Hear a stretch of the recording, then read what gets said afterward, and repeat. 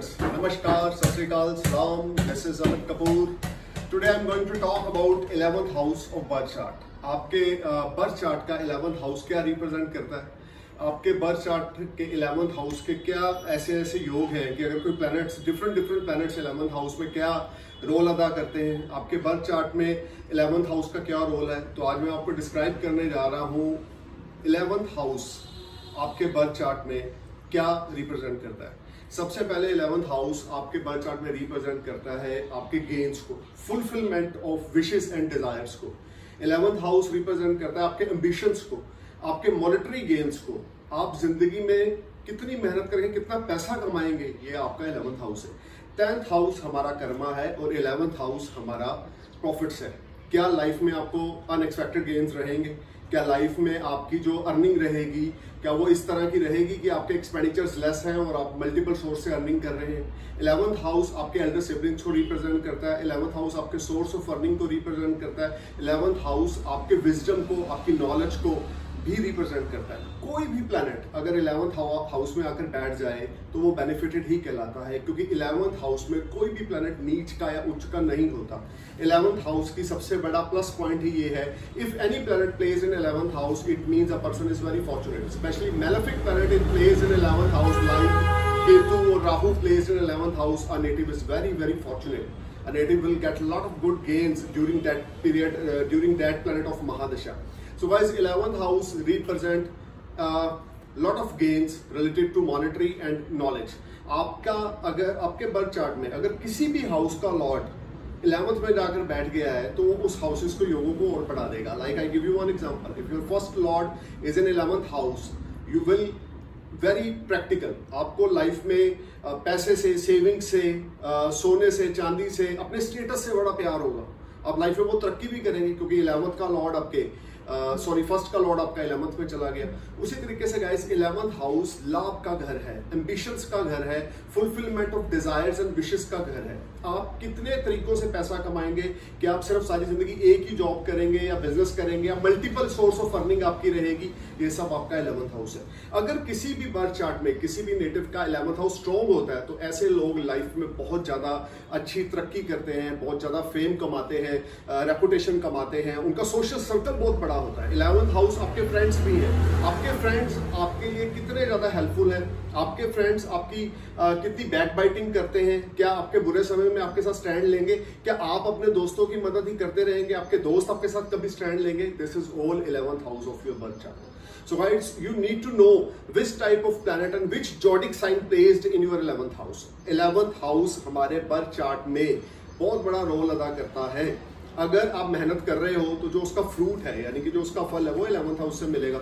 अगर आप एजुकेशन कर रहे हो तो उस एजुकेशन में आप कितना बढ़ गए? अगर आपका फिफ्थ लॉर्ड इलेवंथ में जाकर बैठ गया आई गिव यू एग्ज़ाम्पल अगर आपका फिफ्थ लॉर्ड इलेवंथ में बैठ गया तो आप लाइफ में बहुत ज़्यादा एजुकेटेड हो जाओगे। आप, आपके अंदर नॉलेज बड़ी होगी प्रैक्टिकल नॉलेज बड़ी होगी, हर एक तरह की नॉलेज बड़ी होगी।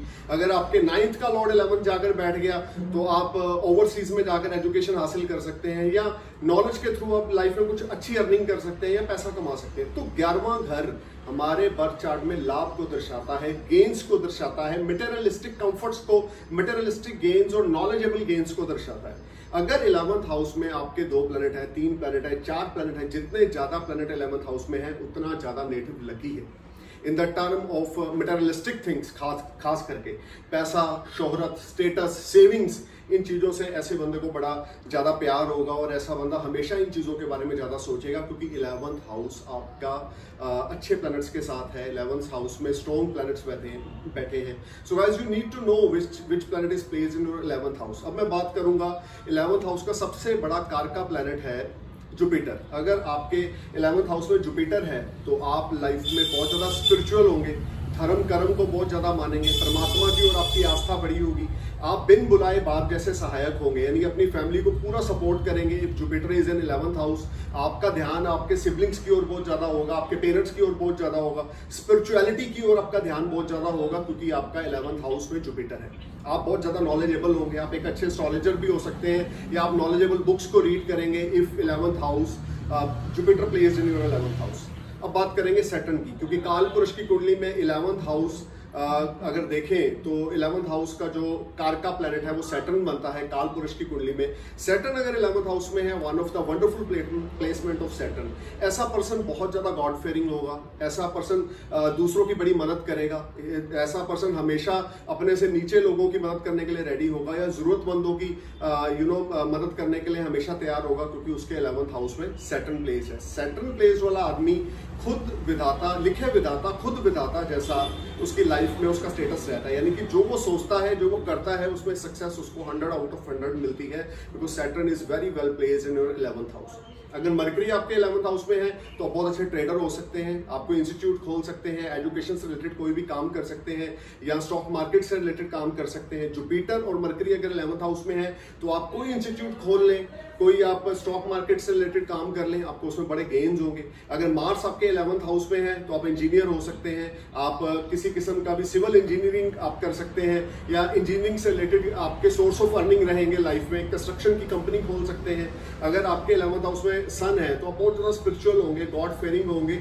सन यहाँ पर आपको गवर्नमेंट जॉब तक दिला सकता है। आप गवर्नमेंट के जवाई होंगे और आपको बड़ा अच्छा रुतबा आपको लाइफ में मिलेगा। और आप गॉड ग्रेस आपके ऊपर हमेशा बनी रहेगी। अगर सन आपके इलेवंथ हाउस में है, अगर मून आपके इलेवंथ हाउस में है तो आपके जो सोर्स ऑफ़ अर्निंग होंगे, वो मल्टीपल सोर्स से आप अर्न करेंगे। मदर की ब्लेसिंग्स हमेशा आपके ऊपर रहेंगी, आपकी फैमिली आपको सपोर्ट करेगी और आप मल्टीपल सोर्स से अर्निंग करेंगे, क्योंकि इलेवंथ हाउस में आपका मून है। और इसी तरीके से अगर वीनस आपके इलेवंथ हाउस में है तो आपकी स्पाउस आपके लिए बहुत ज़्यादा लकी होगी। आपके स्पाउस के साथ आपके रिलेशन बड़े अच्छे होंगे और आपकी स्पाउस आपको हमेशा हेल्पफुल रहेगी आपके लिए और शादी के बाद आपका भाग्योदय होगा और आप लाइफ में बहुत ज़्यादा राइज करेंगे अगर आपके इलेवंथ हाउस में वीनस है। फॉरन ट्रेड से आपको काफ़ी ज़्यादा बेनिफिट मिलेगा अगर आपके इलेवंथ हाउस में वीनस है। और अगर राहु आपके इलेवंथ हाउस में है तो गुप्त धन आपको बड़ा मिलेगा। ये ध्यान ध्यान में रख के चले। अगर राहु आपके इलेवंथ हाउस में है तो गुप्त धन आपको लाइफ में बहुत मिलेगा। अनएक्सपेक्टेड गेन्स रहेंगे। राहु की दशा में अंतर दशा में। केतु अगर इलेवंथ हाउस में है तो भी आपके लिए अनएक्सपेक्टेड गेन्स की पोजीशन रहेगी या मल्टीपल सोर्स ऑफ़ अर्निंग आपकी रहेगी। अगर इलेवंथ हाउस में राहु या केतु में से कोई भी मेलेफिक प्लैनेट है। ये ध्यान रख के चले। राहु, केतु और Saturn if placed in eleventh house trust me, you are very fortunate. If jupiter plays in 11th house you are one of the fortunate man good fortune always started for you. Good fortune is always helpful to you. जब भी आप कहीं फंस जाएँगे, आपको भगवान की grace कुदरत की ग्रेस या एक बोल सकते हैं डिवाइन ग्रेस आपकी हेल्प करेगी कि आप बड़ी इजिली उस प्रॉब्लम से निकल आए, क्योंकि जुपिटर आपका इलेवंथ हाउस में so as know more about eleventh house position in your birth chart visit my website W W dot A K astrology dot com and must subscribe my channel if like my video thank you all the best Jai Hind